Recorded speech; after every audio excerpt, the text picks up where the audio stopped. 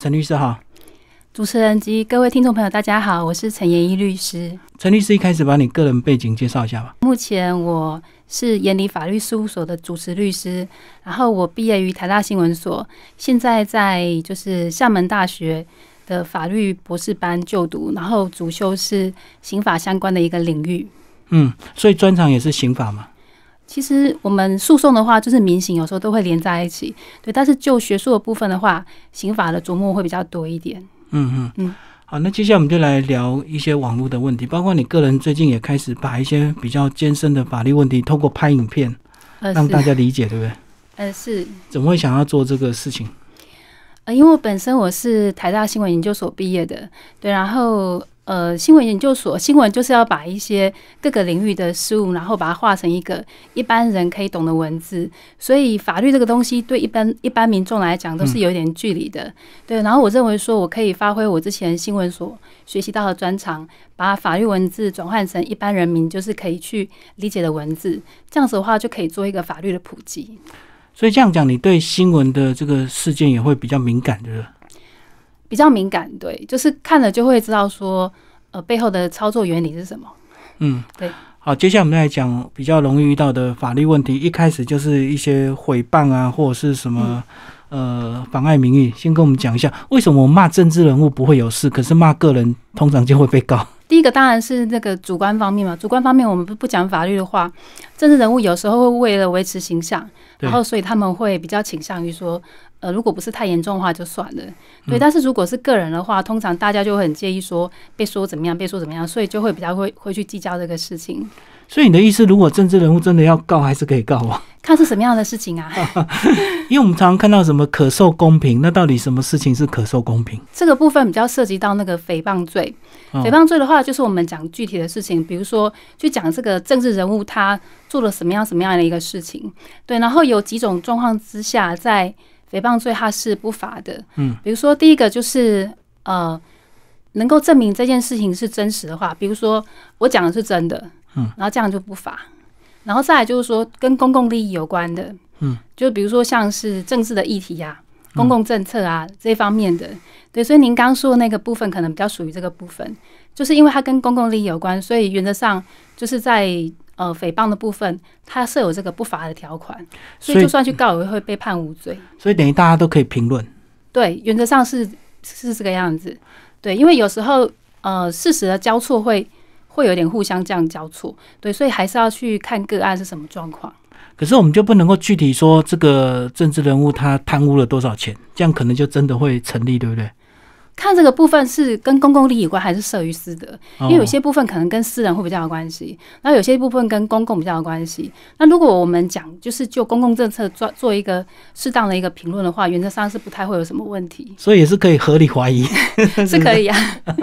好，那我们刚刚还有聊到这个公然侮辱跟诽谤罪到底什么差别？先把这个定义区分一下。是呃，公然侮辱罪的话，跟诽谤罪最大的一个差别在于说。公然侮辱，它是一种比较抽象的谩骂；然后诽谤罪的话，它是一种比较具体的指摘。那比方说，如果你去骂别人笨蛋啊、王八蛋这一类的，然后因为笨蛋、王八蛋像这样的一个名词比较抽象嘛，所以它算是呃公然侮辱罪的一个范围。对，但是如果我们去讲具体的事情，比如说去讲说啊，你这个人这一次怎么断考考很差，能力真的很差，然后很笨这样子，就是有去讲到某件具体事情的话，这样子的话就是诽谤罪的一个范畴。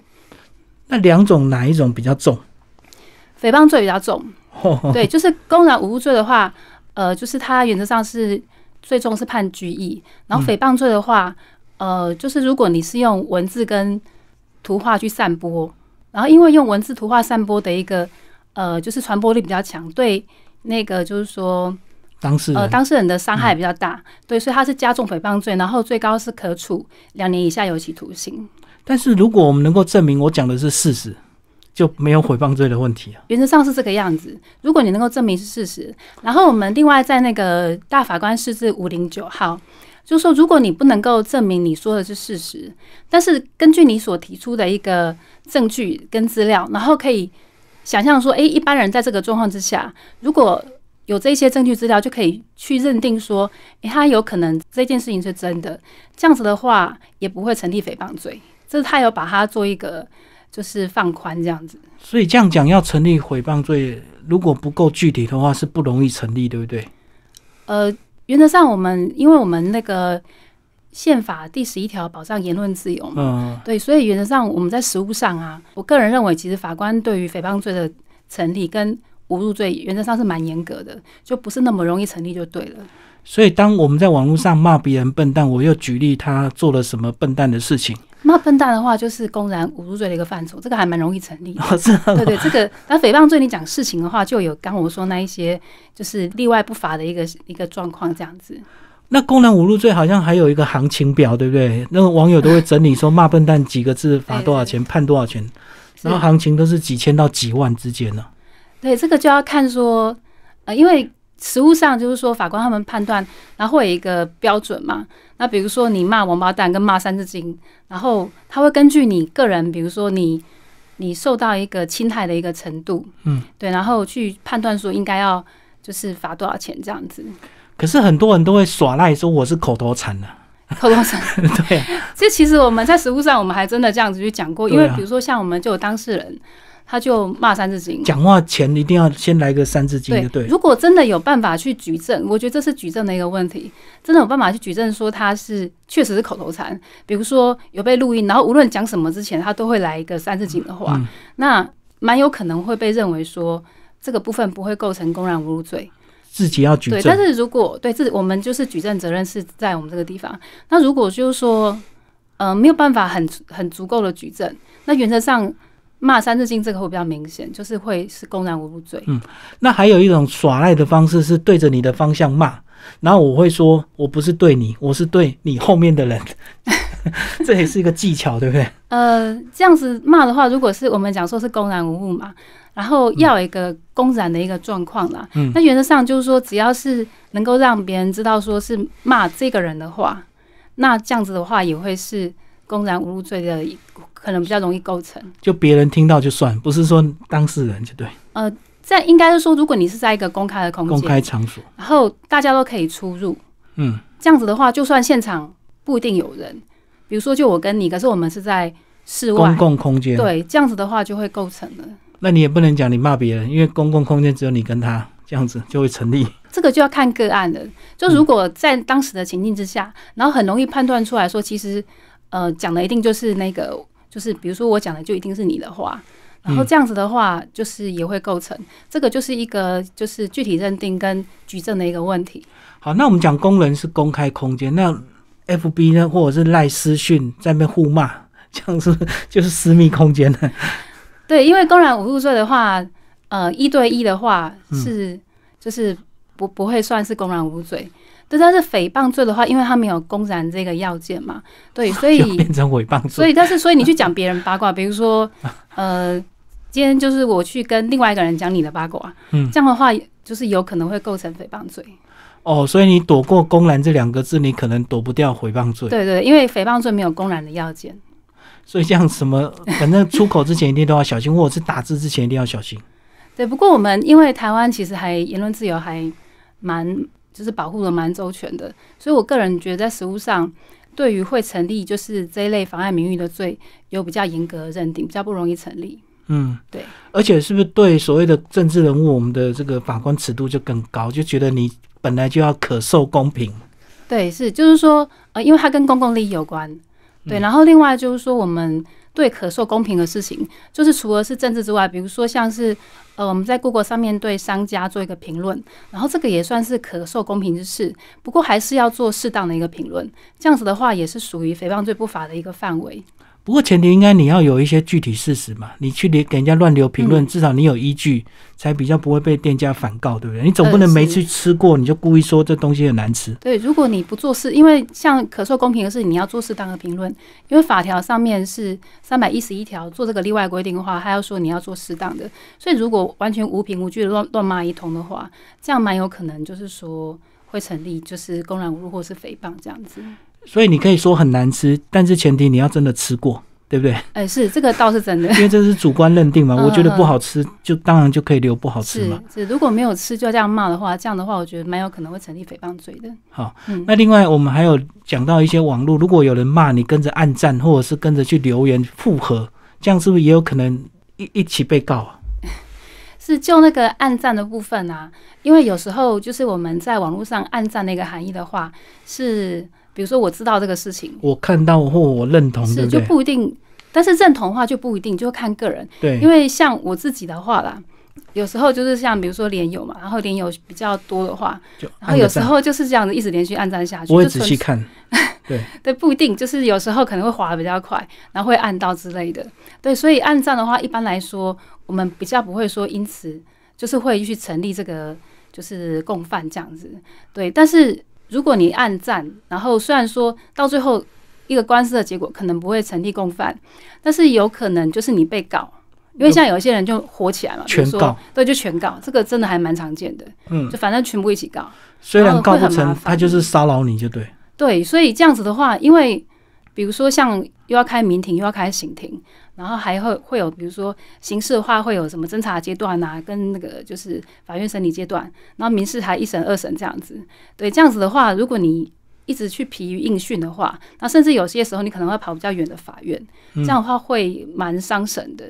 对，而且很花精神，也很花钱。对，所以一般来说，嗯、按赞的话，还是虽然说有时候会手滑，但是还是稍微谨慎一点点会比较好，比较省去无谓的麻烦。就是如果这篇很明显，它就是个情绪的发文或者是诽谤文，你就要小心，就对，不要可能要。闪过去这样。嗯嗯嗯。哎、可是我们来讲，前阵子我们那时候疫苗正缺的时候，很多人就是会留言说疫苗怎么样怎么样，就很多人就被警方传什么社会维护法去传，可是到后来那边好像也不了了之啊。是所以是警察一定要做这个事吗？社违法，社违法的部分是属于比较行政法一个领域，然后，然后这因为这部分就是我们讲说这个疫就是疫苗嘛，或者是说我们这个疾病的部分，它比较属于公共领域部分，所以这部分警察他会去介入去做一个社会秩序的一个维护这样子。嗯，然后当然可能具体要看说。到底他们这样讲有没有去违反到那个就是行政的一个相关法规？然后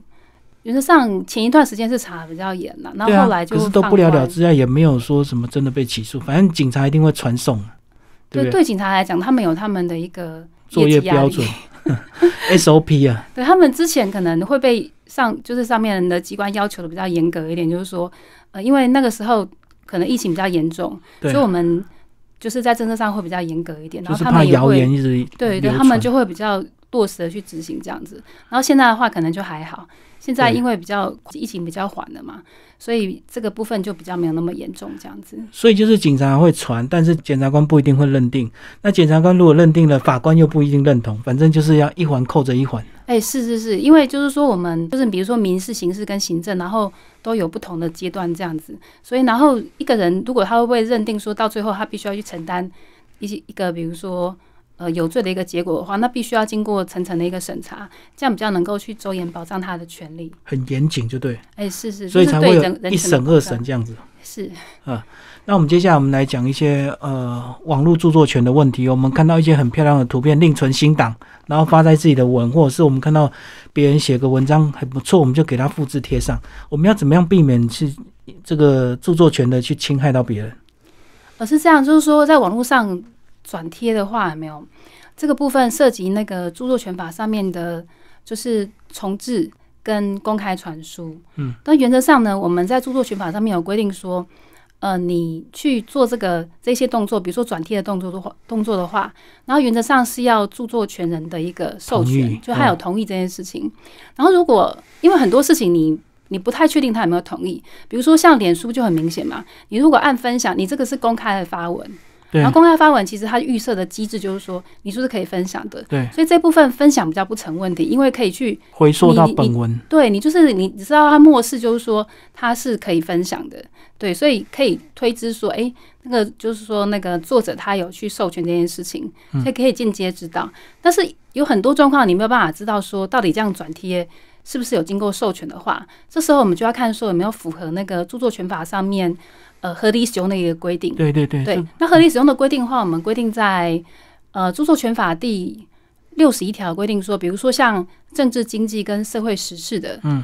这一类的评论的话，如果说那个作者没有说呃不可以转载的话，那像我们新闻的话，我们就就可以就是自由的转贴，除非他有说不能转载，就政治经济跟那个社会时事这一类的一个一个就是文字或者是说是著作这样子。然后另外就是说，如果你做非个人跟家庭做非盈利使用的话，对，那原则上你就是。在你们自己自己这个小圈圈，比如说个人跟家庭里面这样子做私自分享的话，原则上也比较不成问题。然后另外就是说有一些比较常用，就是六十五条著作权法六十五条第二项的一个概括规定，就是会不会被认定说呃违反著作权法？因为著作权法就是它一一样是有行者的，对，所以它会。在这个盖瓜规定里面看，说到底有没有去违反这个著作权法？因为如果你动不动就违反的话，这个国家也是很可怕。对对，就是好像很容易触犯著作权法。所以我们会看说，哎，比如说你去利用这个著作，它这个著作的性质是什么？嗯，或者是说，呃，这个著作它你利用这个著作的比例，在整个著作里面占多少的比例？嗯，或是你利用这个著作的一个目的是什么？比如说是盈利还是非盈利？还是说你？呃，利用这个著作会有造成什么样一个结果？比如说，可能会害这个著作它在市场上的一个销路变很差之类的。如果这么重大的结果的话，那会比较容易去认定这样子。所以最有名就是古阿莫那个电影的那个短片剪接嘛。哎，是。嗯，他后来也是有上法院，那现在进度也不知道到哪。如果说是公开发，我们就是可以直接分享，没关系。那如果他是锁定对朋友的话，是我们就不应该给他公开。就是不不能够分享，对，因为脸书上面的机制是说，你公开发文的话就一定可以分享。然后相信在就是说，呃，在脸书上面公开发文的人，就是设定那个就是范围是公开的话，然后他就应该知道说是可以分享，所以可以可以间接知道推知说他是呃就是有授权你可以去转载的。那其他部分如果没有办法去确定有没有授权的话，那就要看有没有符合那个著作权法上面合理使用的一个规定，这样子。嗯嗯嗯，而且还有所谓到底是不是商业使用，那个也是人家考量的标准。哎，是，就是说六十五条第二项有规定说，那这个部分算是盖瓜条款，因为如果是商业的话，它造成的影响会比较大一点，所以所以会比较容易去构成那个著作权法的一个违反。嗯嗯，好，那我们现在也流行用赖去发一些长辈图啊，或者是问候语啊，可能找一张漂亮的照片，然后加了几句早安你好。那如果万一这个照片有也是人家拍的怎么办？会不会侵权？哎，是这样的，就是说，我们看那个长辈图嘛，其实我们可以把它拆解成两个部分，一个是图片，对，然后一个是在图片上面加早安、午安那种文字上面。然后我们说，呃，一般就是说取得这个图片，它当然就是本身就是一个授权问题，然后你再把文字加那个图片上面，这个就是著作权法上面的改作，改作一样要经过那个。就是原来那个著作权人的一个同意，对。然后我们这边一样，就是说，因为赖部分都是多次的转传，所以你很难去判断说到底就是著作权人有没有去同意这件事情。所以授权这个部分我们就无法确认。但是我们这个时候就要看有没有符合合理使用的规定了。那还是回归到刚刚我们说的那个著作权法第六十五条第二项，就是呃，到底有没有比如说他利用的这个著作的性质啊，种种的，还有造。利用这个著作造成的一个影响，来去判断说它有没有构成一个著作权法的违反，因为也不能说那么容易就构成啦。嗯，对，还是需要经过一些审查，那个案做判断，来判断说有没有违反著作权法。所以，如果你是转贴的话，它问题比较小，因为它已经可能转贴很多遍，你不要自己去抓一张照片自己做，这样就比较危险，对不对？可能要个案认定，看到底是什么样一个图片。对，因为就是说，但一。一样有这个问题，就是说到时候如果告一起告的话，然后全部都有 会有那个应讯的一个麻烦，这样子。哦，我懂，不一定告的人，可是你一定要被传去。对，有时候可能会有这个状况，所以所以可能长辈图的话，我觉得呃几率没有那么高啦，因为那个早安午安那个，除非是一些呃很特殊的状况，不然我们讲一般的早安图的话，应该都还还还行，不能说它是。就是一定是合法的，不过对那个是否构成合理使用的话，可能会比较容易构成。嗯，对，因为它造成的一个影响会比较小一点，这样子。嗯嗯嗯嗯。好，那我看到很多人发文，他如果去网络找一张照片，然后 po 在他的 FB，然后写了一大堆他的心得感想，然后他都会注明说照片来源网络，那是不是加这几个字就可以避掉所谓的侵权疑虑啊？这个部分的话，他可能以为说这样写就得到授权，然后事实上这样子写跟授权其实是两回事。有写跟没写一样的，只能说他相对他有尊重，比如说他有注明出处，所以在判断是否合理使用的话，他可能也会被纳入一个考量，就是说看像是不是家是不是有比较造成的影响比较小一点，嗯嗯，然后就就比较会构成合理使用，但是也没有说一定，还是要看个案做认定这样子。但是有写总比没写好，是这样有写比没写好，真的至少你有表示说我有尊重来源，只是我不知道来源是哪里，我就注明一个网络来源。哎，是是，就是说，比如说像有些人就是说来自于，比如说谁网络上的某某这样子，对。然后当然那个人他著作权人他没有不一定授权给你嘛，嗯那你有这样写的话，就可能会比较容易去符合那个著作权法六十五条第二项就是合理使用的一个规定这样子。嗯，那如果说我看到我朋友 po 文，我就把它这个存下来，我就说来源来自于我朋友，这样子万一侵权是不是就可以推给我朋友？因因为我看到他发文，我才以为版权在他那边。可能到时候就看那个官司里面大家怎么打太极拳吧，就是你推过去推过，到最后希望能够推出一个合理使用的一个结果，这样的话就比较不成问题。但是也可能两个都有事，对不对？嗯，是不是以为你写着我来源来自于朋友，然后就没事这样。呃，对，因为这样变成说你们两个是共犯嘛，对啊，那这样就很麻烦了。对，嗯如果是共犯，那共犯你也不限人数，嗯，你十个也可以啊。诶，所以这样讲的话，我如果去存所谓的艺人的照片，是不是这样就是公共使用，就比较不会有授权的问题？因为很多人就会贴林志玲的照片啊，嗯或者是谁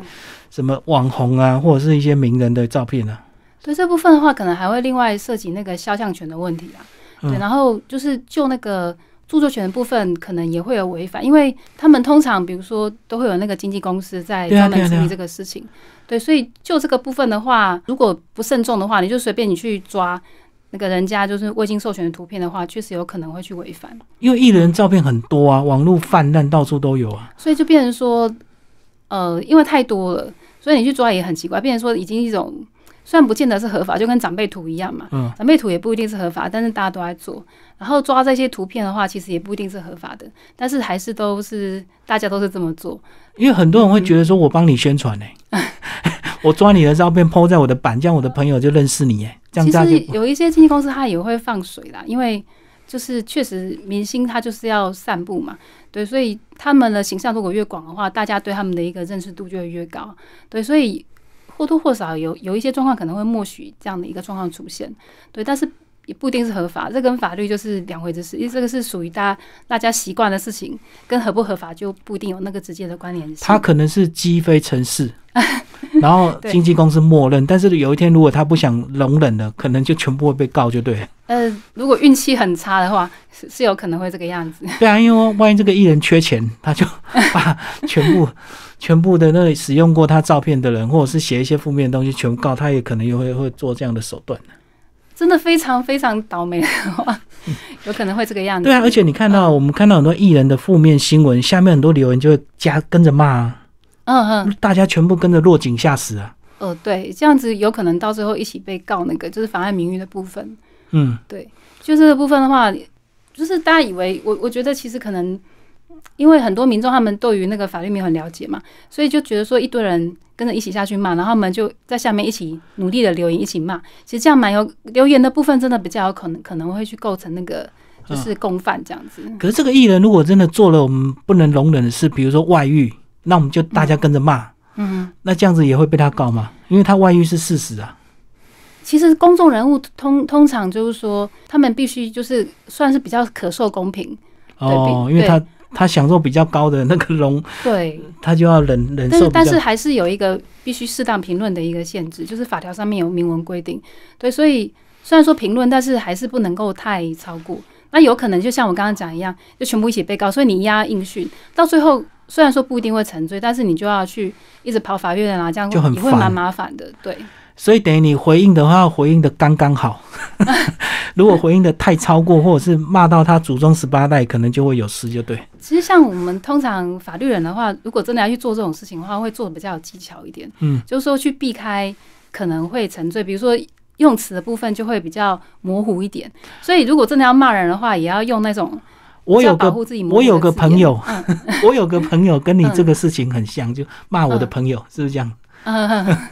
就是我们把它就是间接一点，然后模糊一点，嗯然后不要讲的那么就那么直接的话，其实这样的话会比较保护到自己的一个权利，这样子。就当事人看得出来他在骂你，可是他又没有证明说你是直接骂他就对了，呃就是比较模糊、就是拐弯抹角。拐弯抹角的骂会比较保护自己。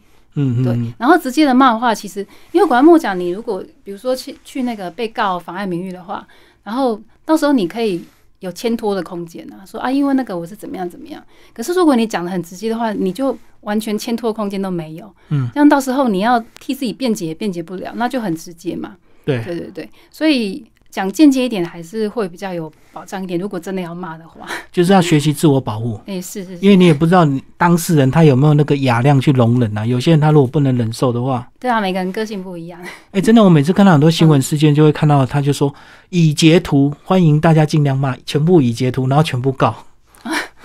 有真的有有一些人他毛起来的话，都会全部告。嗯我有我也有看过那种，比如说哪一个人，有时候是艺人啊，还是公公众人物，对他是生气起来的话，就是那一篇文章他们就全部搞这样，然后到最后不管你是丢什么，反正你有跟着一起附和，就全部会一起被告，这样也算是蛮倒霉的。你这样就变成说，就算你就留很简单的一句话或什么的，你没有真的去骂到，但是因为你有去表达认同，对对，对这样的话，有可能就全部一起，他就等于说通杀就对。就几百人就要去应讯。可能还是会稍微过滤一下，因为你传那么多的话，嗯、可是你们会不会怕接到这个案子啊？接到这个案子，你全部要一个一个去看，全部截图，然后一个一个去写那个告其对方其实通常这个部分的话，呃，我们一开始的话，比如说不会知道那个网友是谁嘛，对对对，然后我们我们如果我们要走刑事程序的话，然后检察官他们那边那边有那个资源可以去去调查证据，嗯。去查说，诶，那这个人事实上到底是谁？这个账号的对，所以我，们在我们在那个侦查程序部分的话，我们如果要去告他的话，就要先做一个调查证据申请的一个动作。那你真的全传的话，其实在实务上，如果这事情不是很严重，然后你又要这样子滥用权力的话，其实检察官那边也会挡一下，他不会让你这么去。他也要查，他也很累嘛。对对对，因为太多的话，而且如果这事情并不是那么重要的话，其实你这样滥用国家资源的话，他也不一定会准啊。诶对，那这样子我，我们去骂人，然后骂完之后，我虽然被截图，我就把账号关掉，这样这样还会被收到吗？还会被查到真实？如果他有截图到的话，还是查得到还是查得到。哦。你你只要一讲出去就已经构成的，不会因为你事后把账号收起来就不会构成。很多人都这样啊关账号，不然就赶快删留言了、对，可是这样子的话，只能够说他的一个已经造成的伤害就是已经沉醉了啦。但你如果当然你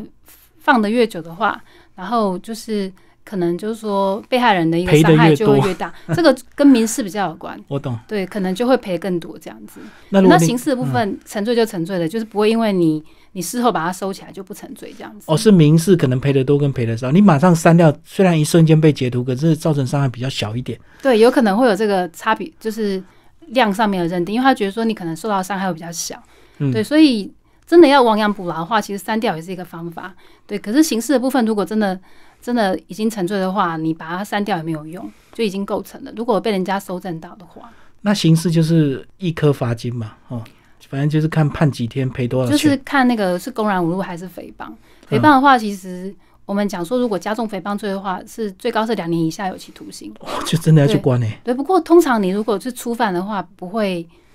都哦，不会不会那么重，通常缓刑比较多啦。嗯，对，除嗯非你态度极度的恶劣，这样，比如说，死不承认。对 或者是说，就是饭后态度就很差，这样子，这样有可能就是说，嗯、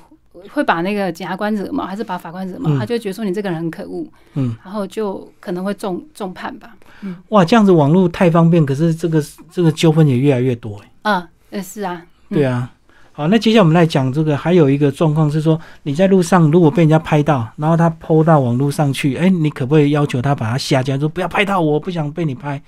走在路上的路人到底有没有肖像权呢、对，每每一个人都有肖像权，嗯。就是所谓的肖像权，就是说，呃，比如说我对我自己的肖像，嗯。然后我有就是是否要公开，或是说我要在什么时候、什么地方用什么样的方式公开的权利。嗯，对，所以如果你在路上，你随便比如说去拍路人或怎么样的话，就都都蛮有可能会去侵犯到路人的肖像权的。可是拍特写跟拍全景应该有差。我如果刻意拍你的特写，或许我们会侵犯到别人。可是我如果拍，比如说捷运站的一个角落，那可能入境的人有几十人、几百人，全部都都可以要求说我的肖像权吗？应该是这样讲，就是说，呃，这个就是一个权利跟权利之间的一个衡量。嗯就是当然我们讲说全部都肖像嘛，就是只要说你肖像，就是说你一个人的长相被再现出来的方式，嗯，比如说去拍你啊，或是去录你啊，或是去画你，就是你的样子，然后可以辨辨识出来是你，对，这样就是肖像。所以如果我们拍路人，然后有时候是像您您刚刚说的一样，有全景啊、近景啊。对，对，那但是如果就算是全景的话，它能够辨识出来是你的话，还是有这样还。是肖还是有肖像权问题。但是有肖像权跟肖像权受到侵害是不同的两件事情。哦，因为比如说我拍你嘛，那我有著作权啊，然后这个在就是权利跟权利之间要经过一个衡量。所以比如说像这种状况之下，到底是要去优先保护你的著作权呢，还是我的肖像权？这个时候就会做一个衡量，那我们就会个案做认定。蛮有可能就是说你在拍一个全景的状况之下，然后那个路人又不是太明显的话，这样子的话就是不会侵害到肖像权，但是还是要个案认定。但是有些人为了怕麻烦，他只要拍到路人，他都把脸遮掉，这样就是一点争议性都没有。所以不是说只要去拍到人就一定是违反肖像权，就是这部分的话还要看有没有就是。在法益衡量的状况之下，比如说法益我们说是著作权跟肖像权两个权利，然后互相在个案去做一个衡量，看应该优先保护哪一个权利多一点这样子，然后衡量下来的结果可能每个案件都不太一样。可你刚刚讲到，你要先证明你受到侵害啊。呃，应该是说衡量的结果可以去决定说有没有受到侵害。哦，哦哦，是，就比如说像是你您刚刚说的一样嘛，就是说呃我拍你，然后我有著作权，但是你有肖像权，嗯，然后在这种状况之下，到底要保护我的著作权还是保护你的肖像权？这两个权利在这个个案里面，法官会看说，那你是怎么拍他的啊？然后被拍的人是什么状况？就是种种的一个状况之下去衡量说，到底应该优先去保护哪一个权利？那比如说，呃，如果拍的状况不是很明显嘛，嗯然后比如说我是远拍。你这个路人这样子，甚至我是具有公益性，比如说我为了哪一个公益活动，我是拍一个街景，这样子的话，蛮有可能会优先保护这个著作权。所以这个时候，虽然说你有你的肖像权，肖像权确实是存在，但是问题是说，这个时候就不会构成一个就是侵害肖像权的一个状况，因为很个案衡量之下优先保护那个著作权。所以这样讲，很多新闻画面，他直接在路上拍人，嗯，这样子就没有侵权的问题。应该是说这个时候法益衡量之下优先保护新闻自由，新闻自由也是宪法所保护的一个权利，这样子。对对，所以这个也是一个衡量，就是说，比如说记者拍过每一个路人嘛，啊，甚至有时候把路人就直接抓来访问，为什么没有经过他的同意？类似像这样子的话，其实呃，当然都有肖像权的问题啦。但是像我刚刚说的一样嘛，就是有肖像权跟肖像权的违反是不同的两件事情。肖像权的违反是衡量出来一种东西，嗯衡量出来说，诶，这个状况之下，因为你有新闻自由，然后新闻自由其实还蛮大的，因为它跟整个社会、整个民族。嗯，什么全部都有关联性，对它跟公益比较有关，所以这个时候，呃，个人的部分、肖像权部分可能会比较被比较压缩一点，然嗯，后所以新闻自由比较大一点的话，那肖像权的部分就不会构成违反。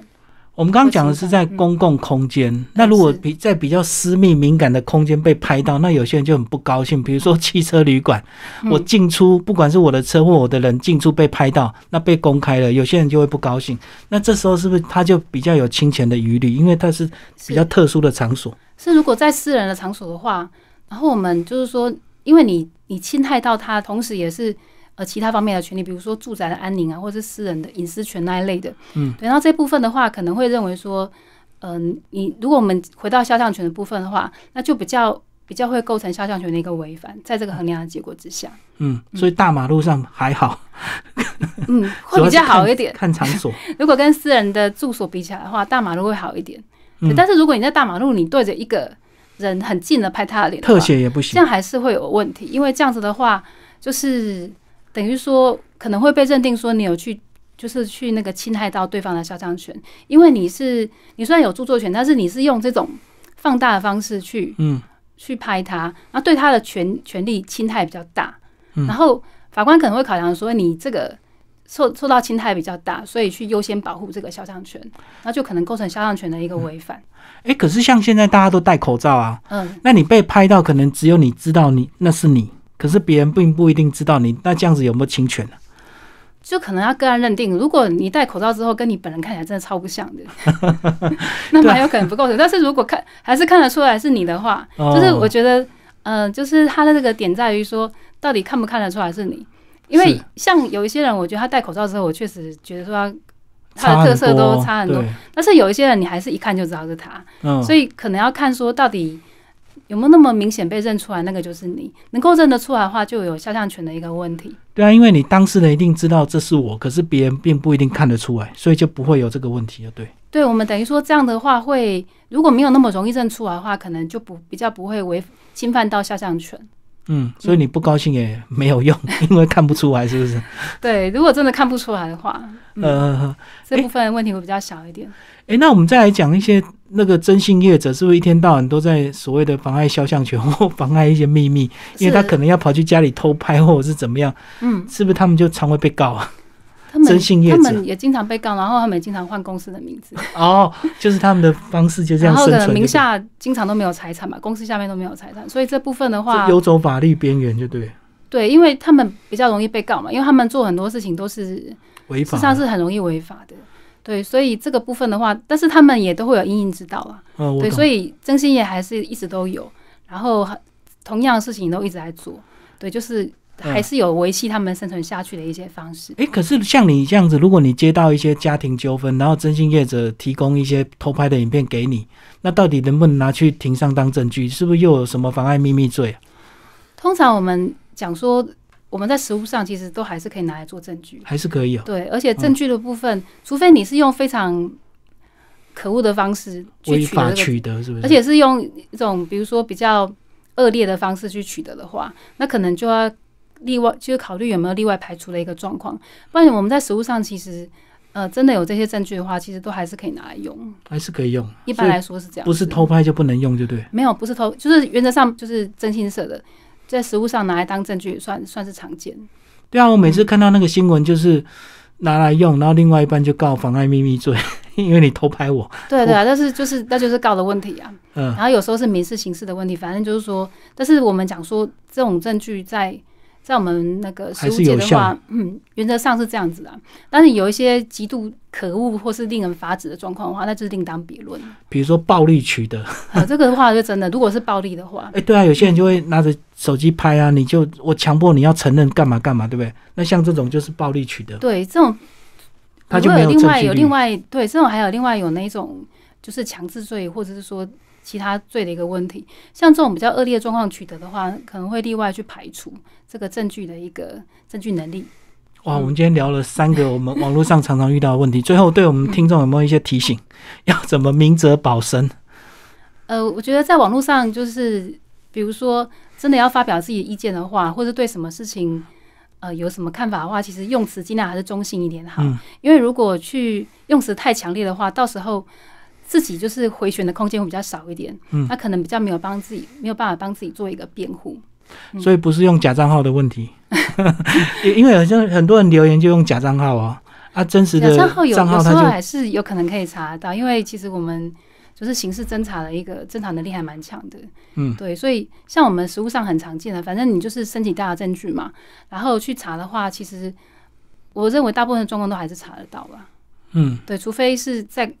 一种状况是在什么国外的那一种什么的，哦，我懂，对对，那个那个就会比较难一点。但是如果是在国内的话，像台湾这边的话，这样的话就我觉得是比较难度。所以要做坏事还蛮辛苦，你要用国外的 IP 成立一个假账号，才可能躲得过。对，就是要很，诶，我这样好像变成说教大家坏事，但是重点就不要乱讲话就好了。嗯，是是是，对啊，不要乱讲话就可以避免到无谓的干扰。就像你讲的，即使你不会沉醉。可是被征讯，心情也是很不好啊。对，如果要跑很多趟法院的话，其实还蛮费神的。对，所以还是尽量像我们法律人的话，其实通常我们讲大部分的啦，通常就是会去避免掉各种麻烦。所以通常我们就是讲话会比较保守一点点。是，对对对，这样子可以省掉一些无谓的麻烦。这样子。对，当你收到了传唤通知，一般人心情都会很差。对，所以还是要避免。是。不要乱情绪的留言就对。嗯，是。好，今天非常谢谢陈律师为我们介绍法律问题，谢谢。谢谢。